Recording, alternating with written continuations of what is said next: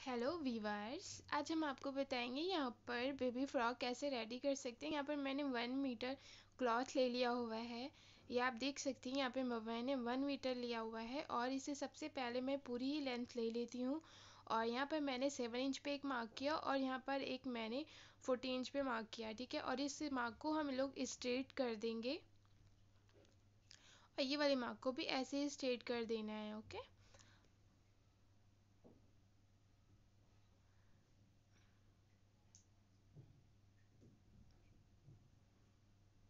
ये बहुत ही इजी है। आप लोग इसे 10 मिनट में बिल्कुल इजीली रेडी कर सकते हैं। यहाँ पर मैंने शोल्डर्स पे मार्क किया है। ये मैंने शोल्डर्स मैंने सिक्स इंच लिया हुआ है। और यहाँ पर इस तरह से आपको क्या करना है, अब हमें अपने चेस्ट लेना है। आपका जितना भी चेस्ट हो, उसके अकॉर्डिंग ले सकते हैं। मैंने यहाँ पर नाइन इंच ले लिया है वन फोर्थ करके। इसका मैंने नाइन इंच यहाँ पे मार्क किया और यहाँ पे मैंने टेन इंच किया है। इसको हल्का मैं ए लाइन की फ्रॉक रेडी करूँगी। तो यहाँ पर मैंने ए लाइन का ऐसे एक मार्क कर दिया और ये शोल्डर्स का जो है हमारा जो आर्मोल्स आएगा तो यहाँ पर मैं यहाँ पर देख लीजिए, यहाँ पर मुझे थोड़ा सा एक्स्ट्रा लेना है और यहाँ पर सिर्फ़ मुझे दो इंच छोड़ना है। पहले मैं शोल्डर्स का मार्क करूँगी और फिर जो अर्ज़ से होगा तो अर्ज़ वाले पार्ट से मुझे दो इंच यहाँ पर ऐसे छोड़ देना है।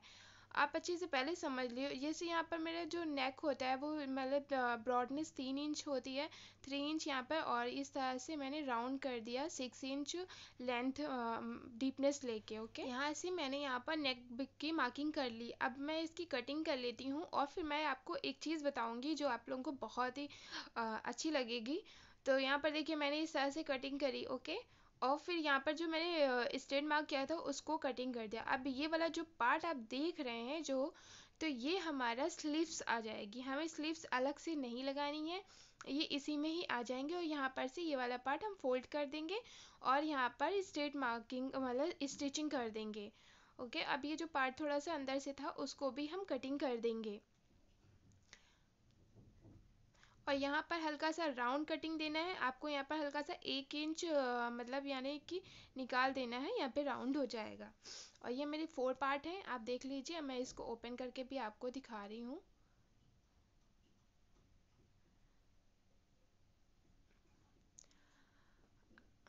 आप लोग ने मेरा चैनल सब्सक्राइब नहीं करा है तो फटाफट से करिए और बेल आइकन भी प्रेस करिए ताकि मेरी आने वाली वीडियो आपको मिल जाए। और जो कि आप लोग ने लाइक भी नहीं किया है तो वो भी लाइक भी मेरे वीडियो पर हम बैक नेक की मतलब मार्किंग करी है। मैंने यहाँ पर थ्री इंच ले लिया और यहाँ पर मैंने टू इंच इसकी ब्रॉडनेस और और थ्री इंच मैंने डीपनेस लेके यहाँ पर मैंने इसकी कटिंग भी कर दी। ये हमारा बैक है ओके अब वो अब ये वाला हमारा फ्रंट है। तो फ्रंट पे तो मैंने नेक की मार्किंग कर ही ली थी तो इसको मैं यूँ ही कटिंग कर लूँगी। इस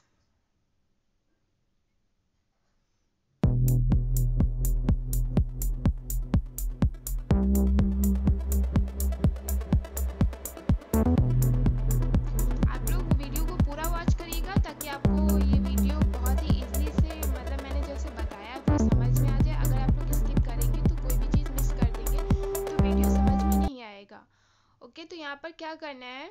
आ, सबसे पहले मैं यहाँ पर शोल्डर्स की जो स्टिचिंग होती है तो उसको मैं पूरा ले लूँगी। ये यहाँ पर मैंने दोनों शोल्डर्स की स्टिचिंग कर ली।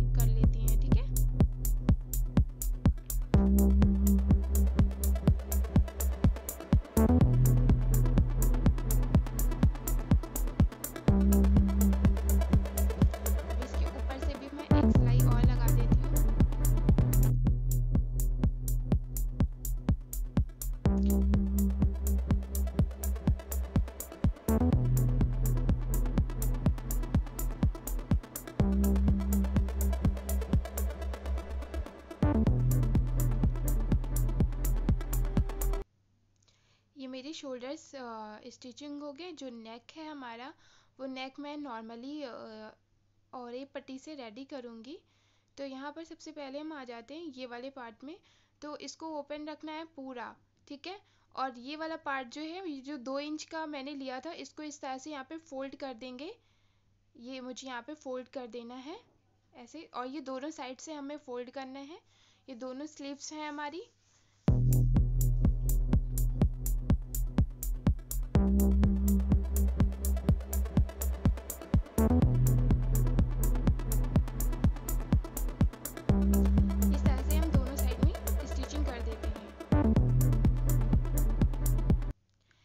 देखिए मैंने मेरी स्टिचिंग हो गई है और अब क्या करेंगे, इस इस कपड़े को मुझे उठाना है, यहाँ से ऐसे पकड़ना है, ठीक है, और यहाँ पर ऐसे रख देना, ओके, और यहाँ पर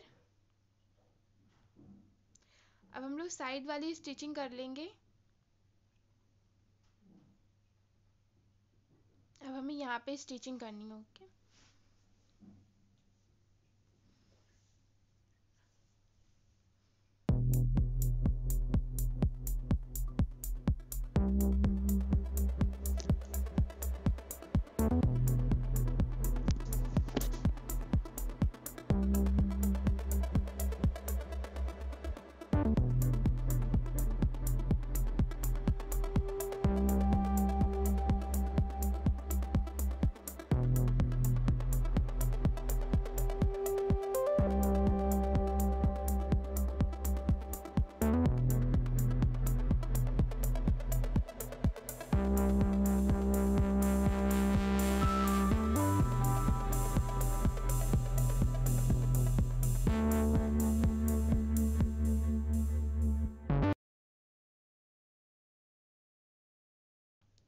यहाँ पर देखिए मैंने स्टिचिंग कर ली। अब नीचे वाले पार्ट में भी हम इसको फोल्ड कर देंगे। बहुत ही पतली सी स्टिचिंग करनी है।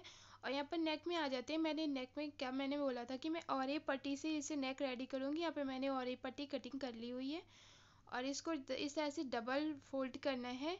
और यहाँ पर रखना है।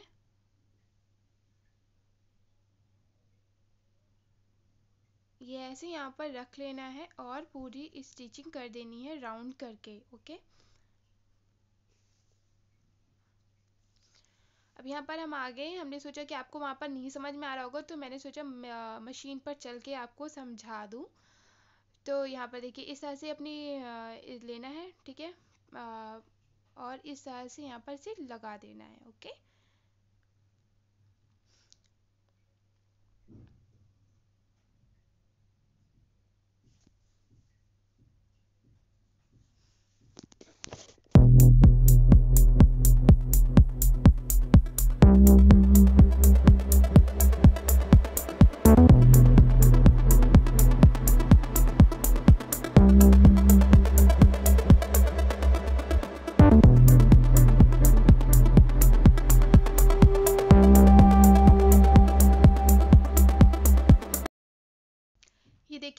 पूरी स्टेप रेडी हो गई। अब यहाँ पर इसे अंदर को फोल्ड कर देना है और इसके ऊपर से भी एक स्टिचिंग कर देनी है हमें।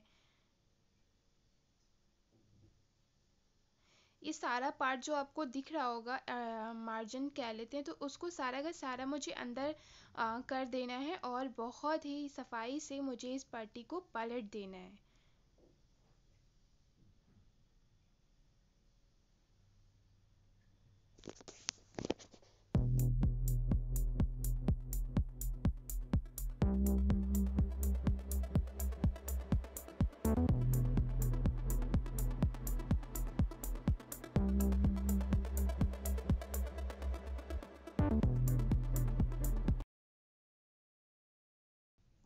देखिए यहाँ पर हमारा नेक रेडी हो गया।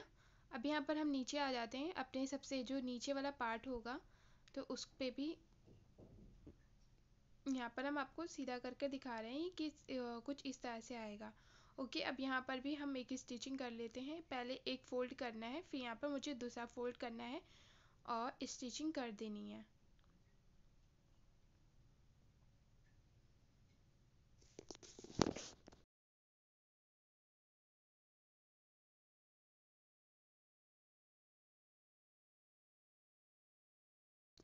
यहाँ पर मैंने देखिए पूरे राउंड में इसे स्टिचिंग कर दी।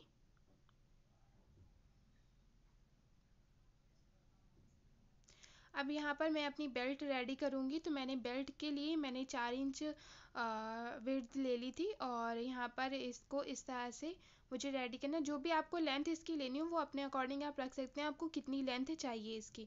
मैंने अपने अकॉर्डिंग पूरी की, जितनी मेरे पास फैब्रिक था, मैंने उतना ले लिया ओके तो यहाँ पर ये देखिए मेरा टॉप रेडी हो गया है।